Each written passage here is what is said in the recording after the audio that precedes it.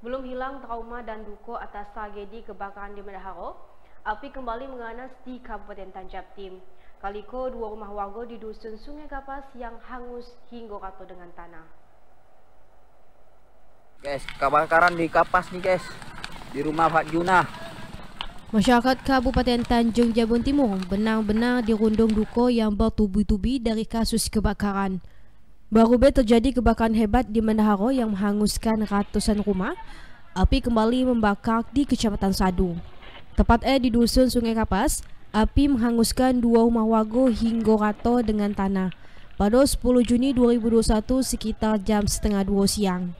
Kasat Pol PP dan Damkar Tanjab Tim Henry mengatakan, berdasarkan data yang diterima dari pihak kecamatan, Kebakaran menghanguskan dua rumah milik warga Parit, tiga dusun dua Sungai Kapas, Desa Labuhan Pering, Kecamatan Sadu.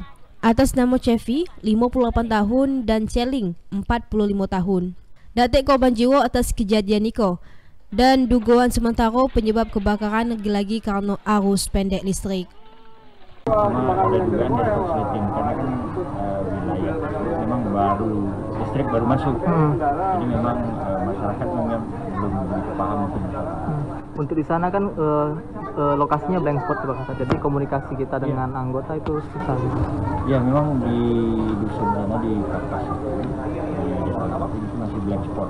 Apalagi untuk sampai sana juga komunikasi masih agak susah. Hmm. Nah kita pun kemarin uh, terlambat kita dapat informasi. Nah begitu dapat informasi, memang uh, dalam kesempatan dengan dekat dengan camatnya langsung ke lokasi. Pemadaman api cuma dapat dilakukan semampu oleh masyarakat sekitar tanpa bantuan damkar.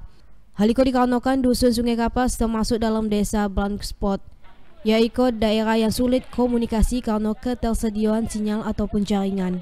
Akibatnya, informasi kebakaran sangat lambat sampai. Elsa Liandarama, Jambi TV.